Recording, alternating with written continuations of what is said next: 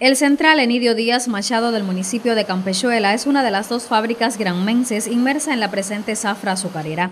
Con cerca de 8.000 toneladas de azúcar producidas, este colectivo mantiene las labores fabriles a pesar de las complejidades que hoy enfrentan para así asegurar el cumplimiento del plan y mantenerse entre los centrales más eficientes del país. La eficiencia de manera integral está bien, hay elementos que podemos mejorar y digo que podemos mejorar porque hoy tiene eh, una afectación eh, bien identificada, la estamos combatiendo, que es la caña quemada. O sea, la calidad del azúcar está muy buena, pero en eficiencia hoy eh, la formación de mieles que tenemos es excesiva.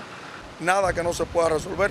Con, de conjunto con los productores tenemos que trabajarlo más y eso nos va a dar el resultado de seguir siendo los centrales más eficientes del país. Para alcanzar las más de 17.800 toneladas de azúcar comprometidas, en el Enidio Díaz es decisivo el empeño de su colectivo que protagoniza a diario jornadas de consagración implementando innovaciones para que no se frene la producción. Este año es una zafra de consagración y de reafirmación del colectivo de Enidio Díaz, donde se viene desempeñando una zafra con bastante eficiencia, bastante rigor, bastante disciplina a pesar que hemos tenido algunas dificultades con rotura, el colectivo se ha crecido, que es un colectivo eh, de vanguardia de hace años, una fuerza estable. Esto es un trabajo esforzado de 12 horas en función de la zafra y de cumplir todos los parámetros con calidad y eficiencia.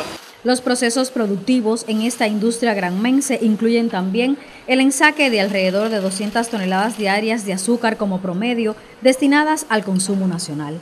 Garantizar la calidad del grano es premisa en cada área de la fábrica. Se está viendo el esfuerzo y la dedicación a la fábrica para nosotros cumplir nuestro plan de producción de azúcar en los primeros días de abril, que es la meta que tenemos propuesta. Haciendo las inspecciones que nos pide el reglamento para que la fábrica no se rompa que el personal obtenga el salario que está pronosticado, que es sobre los 8 mil pesos promedio.